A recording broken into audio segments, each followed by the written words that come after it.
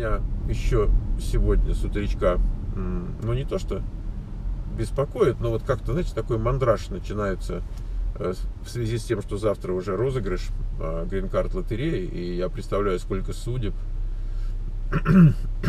несколько миллионов человек по всему миру следят вот, за результатами этой лотереи.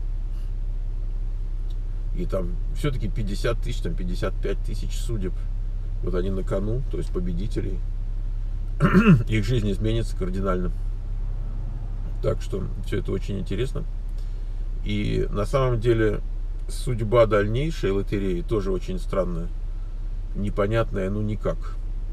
То есть у меня-то было ощущение, когда выборы прошли в конце ноября, то есть считай полгода уже, прошли выборы в конце ноября, и победили в, в, в обеих палатах большинство стало у республиканцев, я был абсолютно уверен, как бы, что они вот сейчас возьмут и что-нибудь сделают с этим большинством.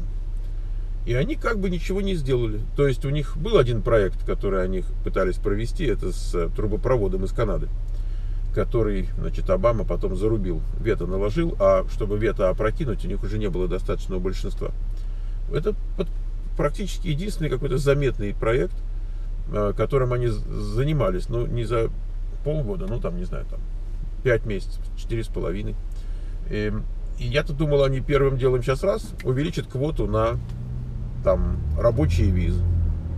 Потом два, тут же, там, через две недели примут иммиграционную реформу. Если Обама ее зарубит, это уже его проблема. Но, во всяком случае, у них же был, у них же был свой проект иммиграционной реформы. То есть, казалось бы, они, тьфу, понимаете, тьфу, у тебя тут большинство, там большинство. На голосование поставил вроде, да? И, и ничего не происходит. да, так вот, э, одной из первых жертв э, вот этого всего должна была быть э, лотерея Грин-карт, потому что республиканцы категорические противники лотереи, они последние лет пять постоянно ставят там на голосование, но у них не было большинства в двух палатах, у них было большинство только в палате представителей и Палата представителей принимала, а дальше оно на этом месте замирало, поскольку в Сенате никаких шансов у них не было. То есть это было больше так демонстрацией там чего-то такого, нежели реальным политическим каким-то действием. Скорее даже административным действием. Да, не было вот ничего за этим. А сейчас они могут это вывести уже на уровень административного. Они же, они же шли на выборы, они же что-то обещали. У них какая-то программа была, они там рукали, руками махали, значит, рукавами тоже там заметали пространство. И казалось бы, ну уже давай. И я думаю, так может они опять это все, как бы сказать, просачкуют, профукают, и ничего делать не будут. И так она и останется лотереей на следующий год. То есть очень-очень трудно предсказуемо, что, что эти люди будут творить. Э, и я специально вчера, позавчера пошел специально поиск сделал. Думаю, может, я не углядел, что там пропустил. Эм, пошел поискал на иммиграционную реформу, что у нас есть. У нас практически ничего нет. А, единственное, что там сказали, это сенатор Рубио, он такой из э, кубинских, ну, родители его из кубинских иммигрантов, он уже такой, как бы, вполне американский. И вот он э, от республиканской партии баллотируется на должность президента США.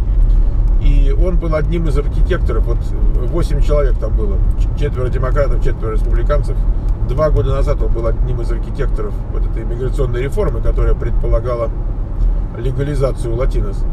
Ну, не латинос, как, как латинос, но в основном латинос, да, нелегальных иммигрантов. И он сейчас вышел с гораздо более, я считаю, удобоваримой платформой для республиканцев. Он сказал, что тем, кто в стране уже много-много лет, тут большинство из них лет по 10, э, дать им не грин-карту и не легализовать их вот так по-настоящему, а дать им разрешение на работу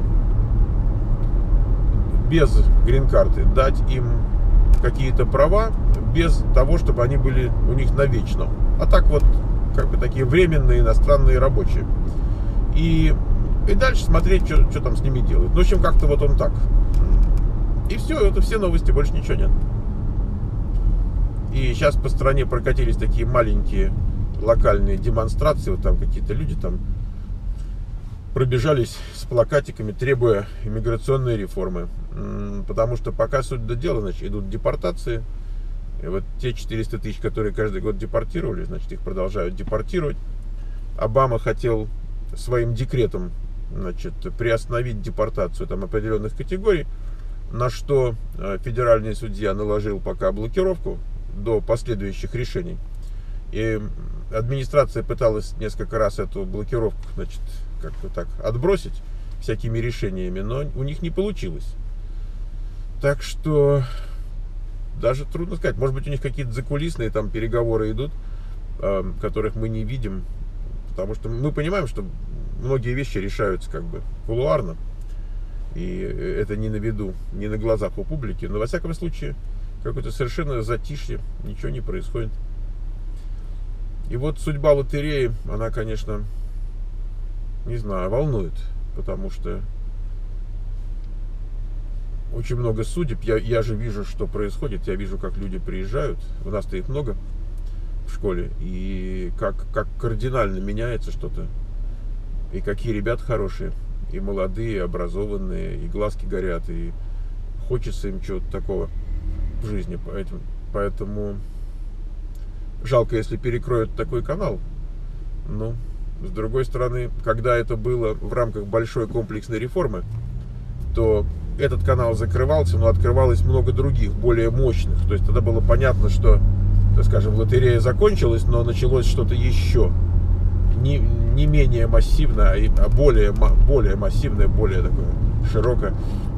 Ну, а если так поодиночке вышибать, то, конечно, не в обмен ни на что тогда жалко.